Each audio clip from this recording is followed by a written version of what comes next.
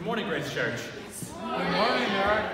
Uh, for those who I don't know, my name is Eric Peloquin. I've been asked to speak this morning for the stewardship testimonial.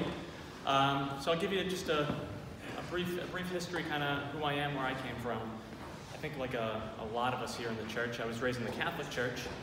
Um, and this is not a commentary on the whole Catholic Church, please don't hear that. My Catholic Church, where I was raised. Um, I don't, I went there for 25 years, probably more. I don't ever remember a stewardship campaign. You know, there'd be the one sermon once a year, the financial report. It's terribly boring. Um, and that, that's all it was. And, you know, every, every, week, certainly, my, my dad would drop money in the basket. He'd give us all a dollar. We would drop it in. Great. But there was never a conversation about it, certainly not within the church and not within our own family. So it never really resonated. It was just kind of something you did.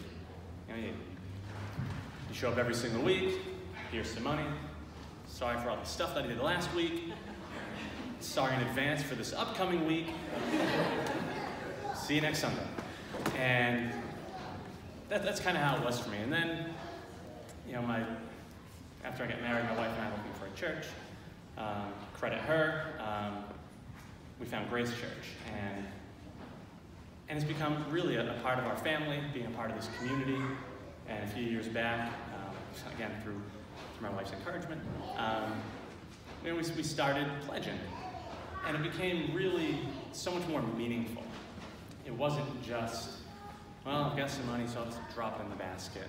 Um, you know, there, there, was kind of more behind it. And each, each year now we're, we're pledging, you know, X amount, X amount of dollars, and it really helps benefit the greater community, which we've come to know and love. And there are just so many wonderful ministries here, whether it's Wednesdays at Grace or, I mean, all, all the tremendous things that come out of Grace Church and this community.